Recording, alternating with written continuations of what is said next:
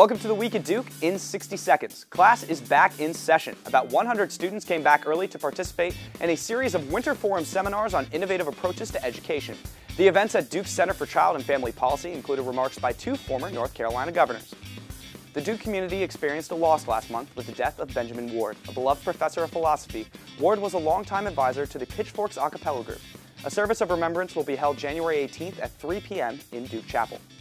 On January 19th, Duke will commemorate the legacy of Martin Luther King with a program in the chapel and a keynote address by NAACP President Ben Jealous. Let's talk about sex, or not.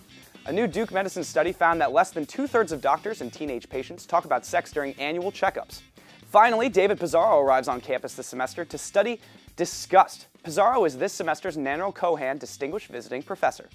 For more Duke news every day, visit Duke Today.